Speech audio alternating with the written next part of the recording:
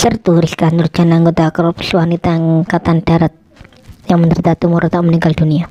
Panglima TNI Jenderal Andika Perkasa mengenang Sertu Rizka adalah prajurit yang penuh semangat. Sertu Rizka meninggal dunia pada Minggu pukul 20.47 WIB di ruang rawat Dokmil RSPAD Gatot Subroto, Jakarta. Jenderal Andika menyebut Sertu Rizka menderita tumor ganas.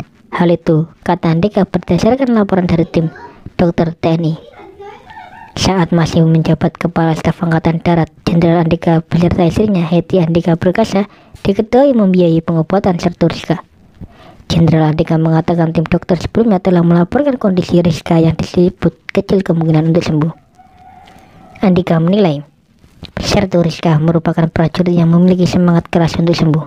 Semangat Sertu Rizka ini disebut menjadi inspirasi bagi seluruh prajurit TNI. Sementara itu, Istri Panglima TNI Heti Andika Perkasa juga pernah berbicara tentang sosok Rizka Heti. Menyebut Sertu Rizka telah dekat dengannya sejak Andika Perkasa menjadi Kepala Dinas Penerangan TNI AD. Jenderal Andika dan istrinya sebelumnya terus memantau pengobatan Sertu Rizka yang mengidap tumor otak.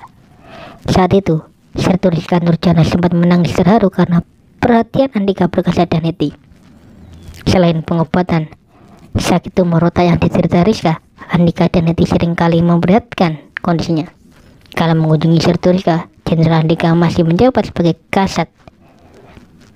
Rizka masuk dengan digandeng ibundanya untuk diketahui Rizka mengalami kebutaan akibat tumor otak yang diceritanya. Rizka menjawab dada dan perut sering terasa sesak. Dia juga merasakan panas di dada, perut, serta pundak. Sakit tumor otak yang diderita Rizka telah menjelar ke paru-paru.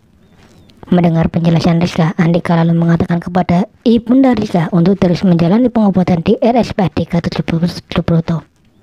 Andika juga berpesan agar Rizka dan ibunya patuh dengan segala arahan tim medis RSPAD.